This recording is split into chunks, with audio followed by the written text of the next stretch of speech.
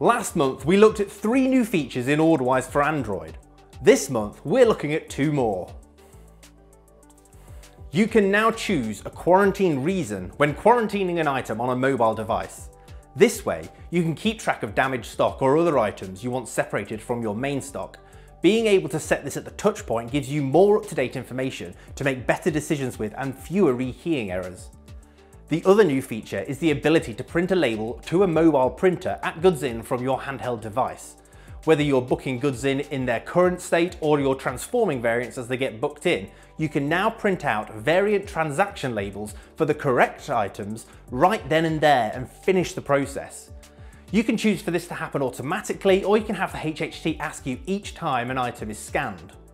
These new features are available in OrderWise version 22.12 if you missed last month's OrderWise for Android update, make sure you take a look.